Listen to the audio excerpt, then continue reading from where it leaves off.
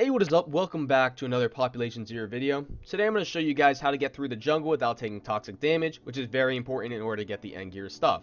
So first, if you look on the map, at the top left you see the jungle. The middle of the jungle will be toxic no matter what unless you get better gear, but the left side stays non-toxic. So if you follow this route right here, you should be able to get to the back, and the back does not have toxic or toxicity at all, anything that will give you toxin damage, so you should be fine back there in order to collect stuff. Now there is a reason that you have to take this path. So in the middle of the jungle, it is extremely toxic. You cannot go in there without getting supplies from the jungle in order to, take, um, to make a mask. Now, the thing is, how are you going to get the jungle supplies if you can't go into the jungle? This is the only route I found so far that you can go that doesn't have toxin damage, so you can get to the back, collect the resources in order to get the things necessary to go in the middle of the jungle, where you get more resources in order to make the end game armor.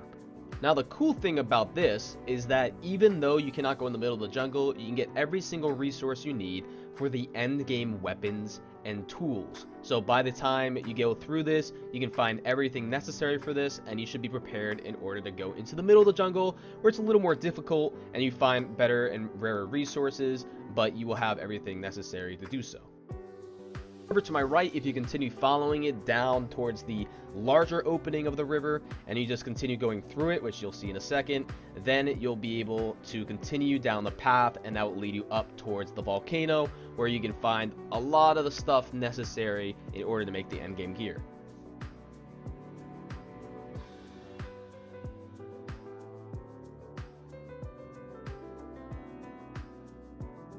So once you keep going straight and you go right past the river, you'll see this path.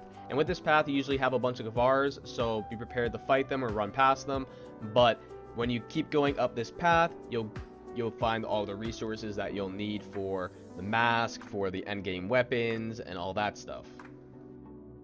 There's also two things I want to warn you guys about. Don't stray too far from the path or else you might take toxic damage. And also don't run into the giant um, yellow hordes of bees or whatever they're called because they will hurt pretty bad. So just avoid those two things.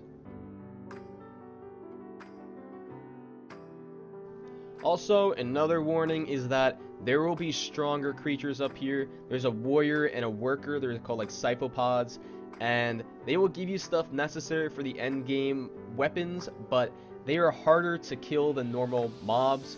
Um, once you get used to their attack patterns, you can really get the hang of killing them, but until then, just be aware. Anyway, that is all for this video. If you enjoyed, then please hit the like button, sub if you ever sub, and turn the notification bell on if you want to see more of these videos. I hope this was nice and informative and really helped you guys get into the jungle, because this game has been pretty hard uh, at some points, and I've gotten stuck, so I hope this really helped you guys. Anyway, thanks for watching. I'll see you next time. Peace.